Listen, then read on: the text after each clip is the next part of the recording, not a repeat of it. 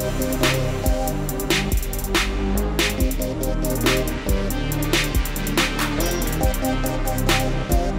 connection points would fail. The product itself would, uh, you know, either roll or launch off the seat.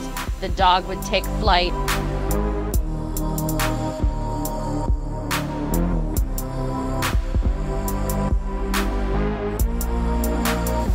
From a pet seat perspective, no, we do not recommend pet seats at this time for pet owners.